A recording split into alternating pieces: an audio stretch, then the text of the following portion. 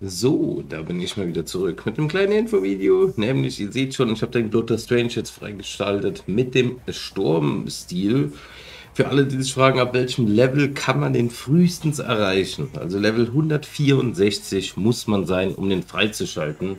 Aus dem ganz einfachen Grund, weil wir vorher, wie gesagt, hier die ganze Seite aktiviert haben muss. So sieht er natürlich auch nice aus, aber man muss ja immer ein bisschen flexen mit seinem Level, in Anführungszeichen.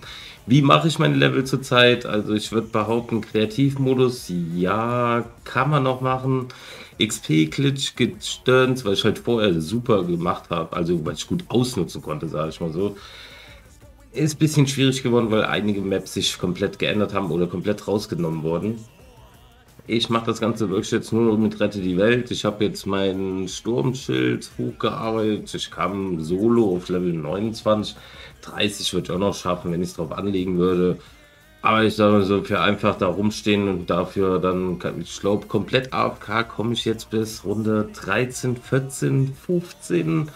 Sind dann um die knapp, ja, fast 100.000 XP.